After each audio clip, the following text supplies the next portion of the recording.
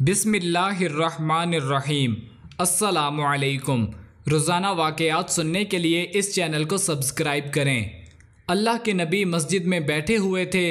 एक सहाबी आए, सहद अल असवद, और कहा, या रसोल्ला मेरी शादी करवा दें। मैं बहुत काला भी हूँ और बदसूरत भी हूँ तो मुझे अपनी लड़की ही कोई नहीं देता। आपने कहा अच्छा। और फिर पूछा कि उमर बिन वहाब बैठे हैं। बताया गया नहीं तो फरमाया, उमर बिन वहाब के पास जाओ और कहो कि मुझे अल्लाह के नबी ने भेजा है और मुझे अपनी बेटी निकाह में दे दो। उमर बिन वहाब काफ़ी खूबसूरत भी थे और बहुत मालदार भी थे। ये उठे और जाकर उनके दरवाज़े पर दस्तक दी और कहा, अल्लाह के रसूल का कासिद आया है, बाहर आओ। बाहर आए तो देखा, साद अल असवद थे। पूछा, किस लिए आए हो? जवाब दिया, अल्लाह के नबी ने मुझे आपके पास भेजा है कि अपनी बेटी मेरे निकाह में दे दो। उमर बिन वहाब ने कहा, जा जा, तुझे दूँगा अपनी बेटी, तुम गरीब को दूँगा अपनी बेटी। साद अल असवद इसी कदमों के साथ वापस आ गए, लेकिन उमर बिन वहाब की बेटी ने सारी बात सुन ली। बेटी ने उमर बिन वहाब से कहा, अब्बा जान, आपने मेरे लिए नबी की बात को ठुकराया है, जाओ जाकर हाँ कर दो। कहीं ऐसा ना हो कि हम तबाह बर्बाद हो जाएँ। आपने मेरी खातिर इनकार किया है। ना कि मेरी बेटी गुजारा कैसे करेगी? आप जाकर हाँ कर दें। मेरे नबी का हुक्म है, मैं गुजारा कर लूँगी। उमर बिन वहाब मजलस में आए तो साहद अल असवद पहले मजलस में आए बैठे थे। अल्लाह के नबी ने उमर बिन वहाब को देखा तो कहा, उमर बिन वहाब, आपने तो हमारी बात ही ठुकरा दी।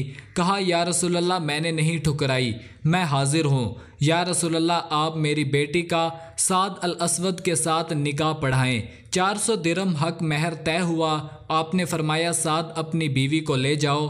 कहा, या रसोल्ला पैसे कहाँ से लाऊं? मेरे पास तो हक महर अदा करने के पैसे ही नहीं हैं। आपने फरमाया, तुम अब्दुलरहमान बिन औफ के पास जाओ और उनसे कहो कि अल्लाह के नबी ने मुझे भेजा है और वो तुम्हारा काम कर देंगे। अब्दुलरहमान बिन औफ वो सहाबी थे जिनको दुनिया में ही जन्नत की बिशारत दे दी गई थी और वो इतने अमीर थे कि उनके बारे में उलाम कराम लिखते हैं, अगर आज के दौर में होते तो इतना पैसा था उनके पास कि पूरा यूरोप ख़रीद सकते थे। लेकिन ईमानदार ताजिर थे और अल्लाह के नबी ने उनको दुनिया में ही जन्नत की बिशारत दे दी थी। साथ उनके पास गए, अल्लाह के नबी का पैगाम दिया तो उन्होंने रकम का बंदोबस्त कर दिया और 400 दिरहम से ज़्यादा पैसे जमा हो गए। साद ने सोचा 400 दिरहम तो बीवी को हक महर दूँगा, बाकी मैं बीवी के लिए कुछ तहफ़ ले लेता हूँ और बाज़ार चले गए। बाज़ार में दाखिल हुए तो इतने में ऐलान हुआ कि मदीने पर कुछ बुद्धुओं ने हमला कर दिया है। जैसे उनके कान में आवाज़ पड़ी कि मुसलमानों, आओ दफ़ा करने के लिए। तो बीवी के तहफ़ का ख्याल तरक किया, एक घोड़ा और तलवार ख़रीदी और लश्कर में घुस गए। लड़ते लड़ते उनका घोड़ा ज़ख्मी होकर नीचे गिरा और बुद्धुओं ने उन पर हमला कर दिया। तो अचानक दूर से अल्लाह के नबी की साद पर नज़र पड़ी तो लपके साथ तुम यहाँ क्या कर रहे हो? तुम्हें तो मैंने तुम्हारी बीवी के पास भेजा था। तब तक साद अल असवद शहीद हो चुके थे।